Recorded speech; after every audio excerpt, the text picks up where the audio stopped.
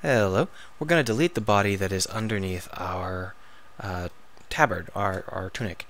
We're going to clone the body first, hide the clone, and then we're going to delete here. But before we get quite that far, we want to change our rendering. Uh, the reason that we want to change our rendering, there it is, um, is so that we can see what's going on underneath our tunic. Now there are a lot of things we need to delete. Basically everything from here down needs to go. Um, but not entirely everything, and we'll see in a second what I mean by that. Uh, we definitely want to lose as much of the complex uh, bust region as we can. Um, and this could go. And in the back we can see everything looks fine. We can lose some more on the back, but we're not going to lose it all just yet. There is a problem here, uh, and that is that we have this open front. So we need to actually deselect the faces that we want here. Now we also need to worry about the idea that the player might look at this angle and we don't want any gaps so we need to actually leave a fair amount of uh, the upper chest in place so that the player doesn't feel uh, weird when he sees a giant gaping mass of emptiness. There we are. That should be more or less correct. We could stand to lose this and this and this and this. Ooh. I think that'll do. Let's delete it. Delete the faces, and that leaves us with plenty of uh, uh, of skin. And we're going to want to delete more on the back here, just because the back is going to be the subject of a lot of bending. But we want to be sure to just take the back. We don't want to accidentally take the front as we try and get the back. So if we grab this here,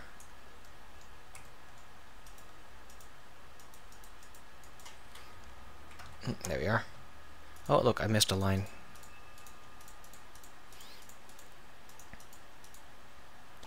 So how much of the back do we want to keep? Well, it's better to keep too much and then delete it later. So let's go ahead and just do it like this. Now that we've deleted the underlying mesh, we can go back and start to shape our tunic correctly. Uh, now, to do this, you just use the sculpt mode. If you don't have a tablet, you can always use your mouse. It'll take a little bit longer, but whatever. So, in our sculpt mode, there are a couple of small details we need to take care of first. And those are all trying to smooth out the errors that were created by our adaptation of the underlying mesh. So in this case, we wanted to smooth out the bust area because it was uh, distorted pretty badly. Uh, we could also get some smoothing done down here in the belly area uh, since we don't need to have it skin tight at the belly. And in the back, we have this spinal ridge, and we want to get rid of that. I'm going to use flatten. No, I'm not. I'm going to use polish.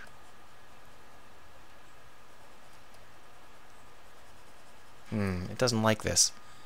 Come on, people. Give me a... Oh, I don't have it. I forgot. You have to actually apply the mirroring, otherwise otherwise you get this kind of error in the back here. That's better. There. At this point, inflate is your best friend. And let's turn on symmetry. It's not going to end up being symmetrical in the end, but it should be symmetrical at this point. So just use your symmetry brush to bring up all of the pieces that you're going to need like this. Uh, the inflate and deflate is your best friend when you are editing um, when you are editing things that have only one side because uh, it can't uh, accidentally destroy the structure of it like uh, like most of the other brushes can. Here you can see that we've gotten some pretty uh, facey sort of situations going here. It's not um, it's not as smooth as we might like, so we can just pull those in a little bit. And we might as well grab this wing and bring it in. But the problem is that uh, we need to actually rearrange a fair amount of the topology in this area, just pulling it in a little bit. And of course we do not like it being under the skin, so switch back to the inflate brush and pull it out. There we go. That's not going to work. It's going to be tough to uh, reintroduce a bust now that we've deleted the the uh, portion that was actually um, shaped specifically to be the bust. And one of the options we have is to leave that portion intact, but that gives us a really tight shirt, um, like aggressively tight, and I don't think that was a good fit for us. So we'll just slowly work this out here. There. Uh, some days it's a little bit difficult. Let's use grab.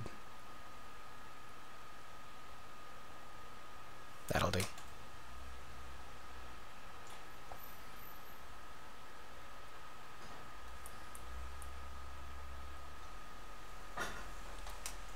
Alright, that is more or less correct. We can always adjust it later as we need to. Um, and of course, if we really want to, we can introduce more topology in the area if that turns out to not be enough. The other thing we need to be careful of is uh, this is a skin-tight torso area, and that's because we cloned the skin to make it. But that's not a very good um, way to actually do things. It's better if your characters uh, actually look like they have some mass uh, in their clothes. A lot of people make the mistake of making their clothes skin tight, thinking it'll be better or sexier or whatever, and it's really not a very good way to do things. Uh, you should not feel afraid to bulk up your character's uh, clothing. It gives it a, a, better a sense of actually existing. And you'll have to pardon, there's someone who has decided it's uh, trash day or something. So now we have created this setup where we have a tunic that is relatively tunic-like, but it doesn't have the um, uh, there are a couple of small bugs with it, like it doesn't have the wrinkles that it needs and stuff like that. Now, if you've ever gone and done wrinkle uh, mapping here in um, uh, here in sculpt mode, you probably think that might be the best way to do wrinkles, but it's really not. Uh, that's not, not a very good way to do wrinkles at all when you don't have enough verts to actually sustain the wrinkles. But we can use the thumb to help us out here. Uh, the thumb is an easy way to distort an underlying mesh, and that can give you uh, a sense of it being saggy, like this. Now you do have to be careful to not make it feel like it is a, um, uh, a saggy portion. Now we are actually distorting the mesh here. You can see how it's gone from being that nice, uh, nice square feeling to having this bowed edge and that may not be the best idea depending on how we want it to work. So I'm going to go and undo the thumbs, uh, redo, and what we're going to do instead of that is we're going to be, instead of dragging down, we're going to be expanding on the back. So let's use grab, and we can just pull these things back very slightly. And that'll give it a little bit of a feeling that it's, uh, uh, you know, kind of not stuck to her skin quite as much. And this will be part of the wrinkles that we'll end up painting in, although they're not wrinkles yet. Similarly, the underside of the chest doesn't need to be, um, we can probably use smooth.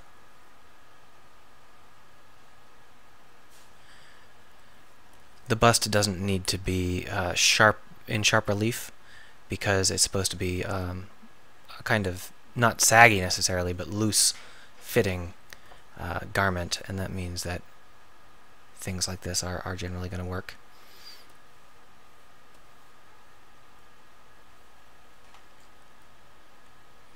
And of course you can always use the wonderful inflate brush to actually finish up any of the details that you can't get to work using the drag brush, which is fine. The inflate, inflate, inflate brush is probably my favorite. I've got it set to a low strength so that I can control it really quite easily. And here you can see that we have uh, something that sort of looks like a wrinkle, uh, but it is a little bit too much. So let's grab and pull these guys out. There we are. We can actually bring these guys in. There we are. And that's going to be our tunic's basic structure. Let me put this away now.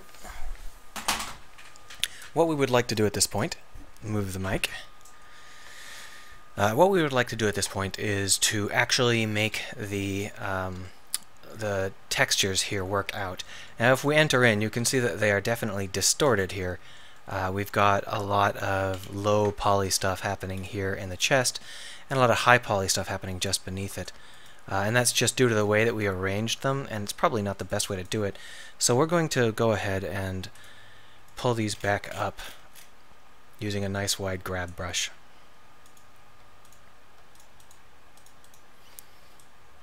Now, mirror editing does not work when you are doing proportional editing, so you have to do this on both sides the same amount. There we are. That'll do to keep us more or less even. You can see that we actually cross over the x-axis here. So let's go ahead and undo these. Scale x negative 1. Nope. Um, oh, because we've got proportional editing on. Disable proportional editing. Scale x negative 1. There we are. So this looks pretty good, but uh, that means we should save it as a new file. But it's not uh, correct yet, because it doesn't have any of the wrinkles that we need to build into it. And we're not going to be building it, a lot of our wrinkles are going to just be normal mapping, obviously, but we want to build in certain kinds of, of um, structures to make it feel right. And that's going to include tipping this like so to get along with the belt.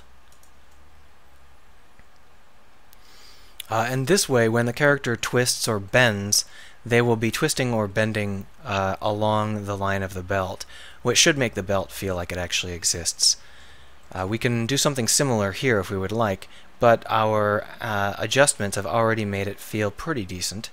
Uh, what we can do is, you know, I don't think it's probably necessary to do anything there. We can just put those as uh, other kinds of wrinkles, normal map of wrinkles.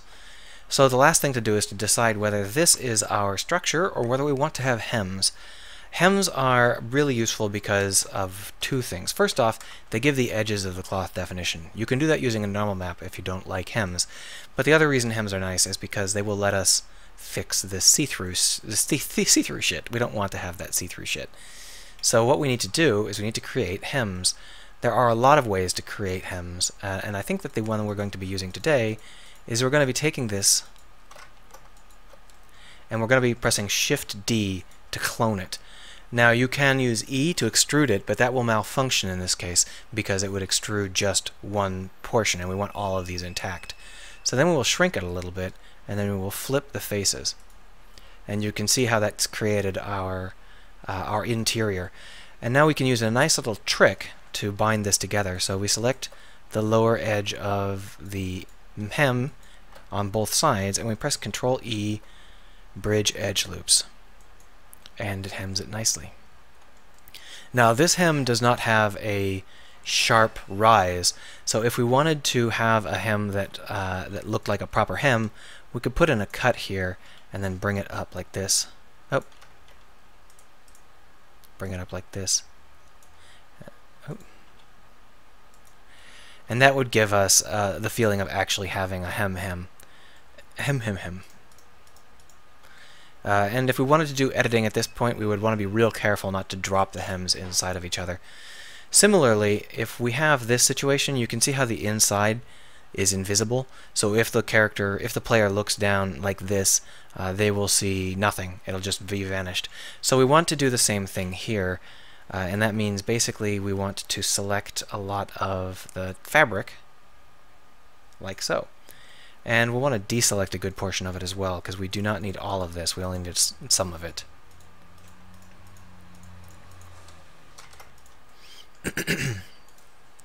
but it would be best to get all of the neck. Um, not that much neck.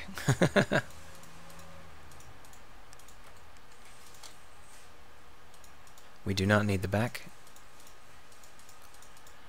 There are faster ways to select this stuff, but I always uh, default back to single clicking. I'm not sure why that is.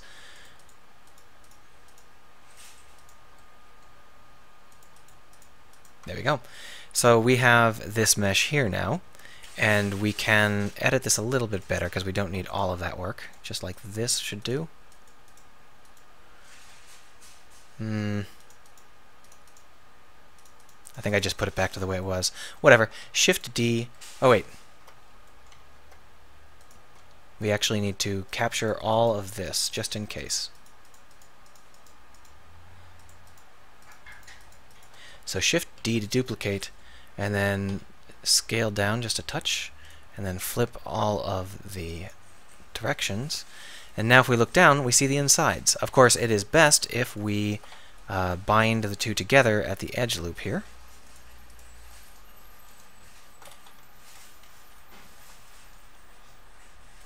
I'm not sure we scaled it down enough.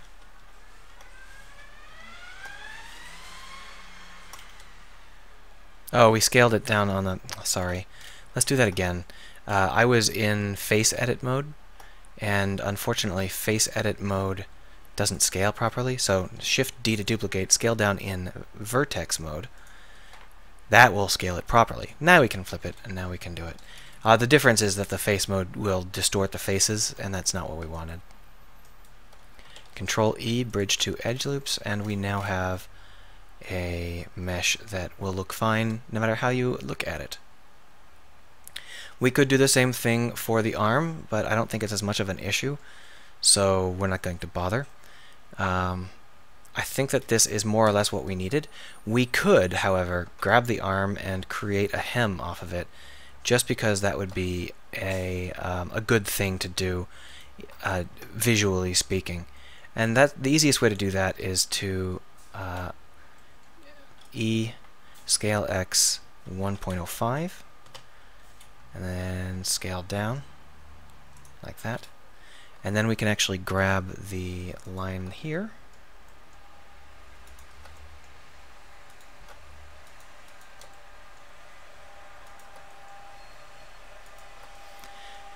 E and move it out a little bit. Now this is a very simple way to do uh, the edge of the shirt to give it a little bit of definition here. Um, you can see that in the back we do have a slightly awkward angle running. We can either deal with that or leave it as we see fit. Um, I am kind of aiming for kind of a gunny sack cut into a, a cloth sort of situation, so uh, for the moment that's fine. And this is our uh, basic shape. We may be modifying it quite a bit later on in terms of exactly where everything lies, but the basic shape is complete, and that means that it's time to carve it up and UV map it. It's already been 20 minutes, so um, sorry that this is taking so long, but this is what it's like. No. No. No.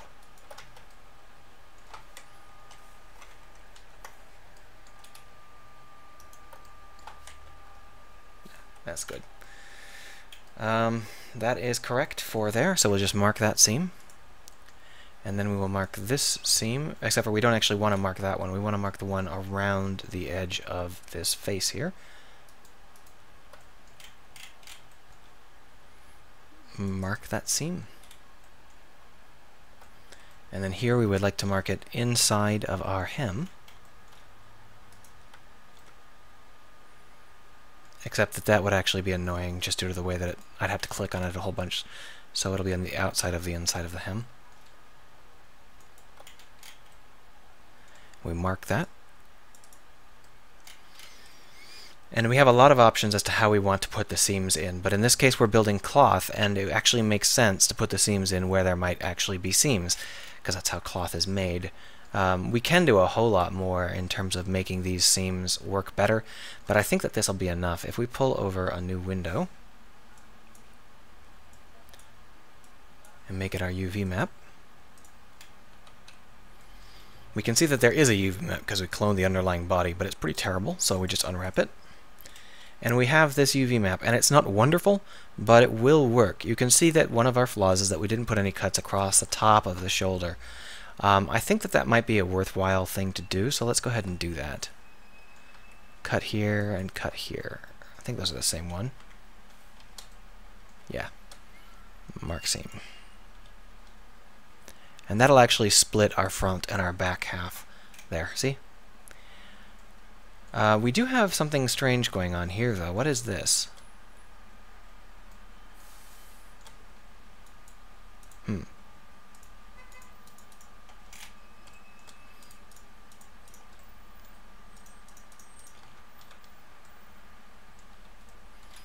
I really don't know what that portion is, but it is... Ah, there it is. It looks like it's the inside of this seam here. So we're going to go ahead and add in just a little bit of a cut on the inside here. And down on the inside there. Where are you? Come on, stop dancing. There we are. And then we mark that seam. And that should prevent us from getting that weird sharp seam here. Yep, there we are. So if we save this as AnHero 5, we can go over into Unity and import it. Of course, we've got our AnHero 4 kind of lounging around here. AnHero 5 has a problem, though, uh, in that I didn't delete the underlying body, so we're going to have to delete that manually. Uh, there's, there's a clone of it, and that clone will show up here because it doesn't stay hidden. Grind, grind, grind, grind. Why is it re-importing AnHero 4? Oh, wait. Oh, AnHero 4 contains the primitive version of it. I just delete that. Uh, AnHero 5, drop it in. Spin her around. And we want to delete uh, all of the body parts that aren't what we want. Delete it. That's fine. That's fine. That's fine. Alright. I forgot to name the tunic something useful, but that's okay. So we have um, most of the uh, materials need to be reassigned. So let's put our pants on, and let's put our boots on, and let's put our hair on. Now if we look at a tunic, it's already got a random fabric applied to it um, which actually doesn't look too weird, but it's too weird for my taste, so we'll drop this on it just as a placeholder, and you can see that it has some pop through down here in the leg, which is kind of what I expected. We're going to be binding this to the bones soon, next episode, uh, so to deal with that, we are going to uh, we're going to do these kinds of adjustments then. Um, but definitely dirt is a bad um, fabric for it. We could do pants, uh, rather, uh, we could do the pants material. And that actually looks kind of interesting. Um, but it's not what we're going to do. We're going to have to export the UV map. But I don't like the way that it's rotated 90 degrees, so we're going to rotate it 90 degrees the other direction.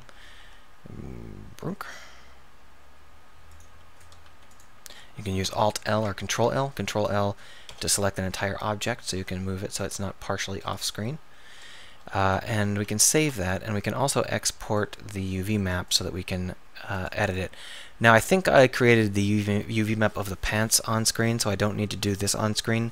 So I'm going to see you next time when we finish off the belt and map everything to the bones.